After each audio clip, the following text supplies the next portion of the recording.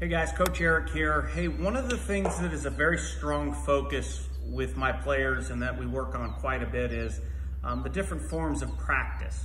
So in order to acquire and become an expert at a certain skill, we need to make sure that we're varying what we do. And we call that variable practice. So I've got a video of myself here that I'm gonna go ahead and just run through. And it's me hitting pitch shots to the same target.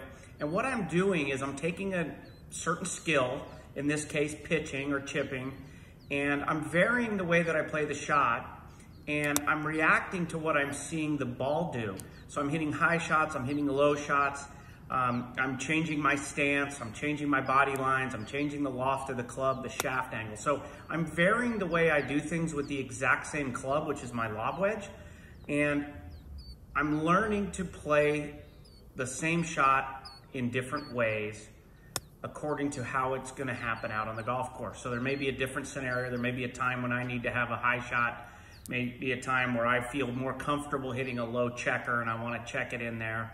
Um, and so here, here I am just kind of going through the shots. I start with a standard low. I take the club outside just a little bit on that first one and I let the club drop in.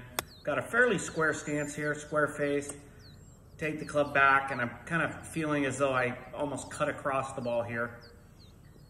And then you'll see me slowly start to make, make adjustments. So I've got pretty square, I'm going about 20 yards. You can see I take it up and then out and across.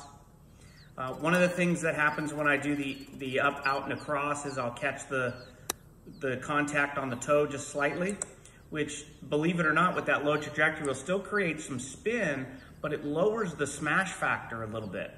So I'd like to see that smash factor on a wedge shot, you know, under one, which means that the ball is coming off the face a little bit slower than the club head speed and that softens the shot. So you can see here I start to make a little bit of an adjustment.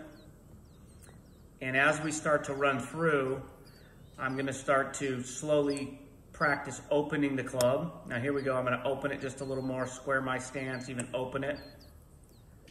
Okay, and I can see those balls, those low ones especially are checking fairly well. Okay, we don't wanna kill the guy on the back of the green. So there I went and I opened my stance a little bit more. I opened the face and I took it outside and across just a little bit more. Now I'm gonna try to hit some higher flop shots here. Okay, where I'm just gonna really drop the club behind the ball. And I'm actually gonna catch the ground first with the pressure on my lead side here.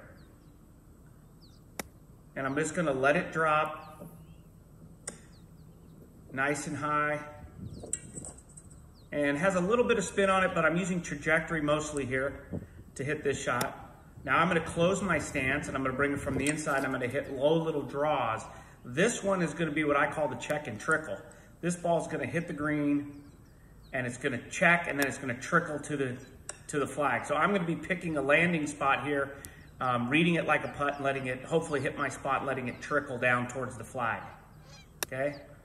Changing my body lines. There I go, open up, drop my hands a little bit, hit a little bit higher one here. All right, so when you're practicing, utilize the variable practice routine and you'll get really good at a particular skill. All right, good luck.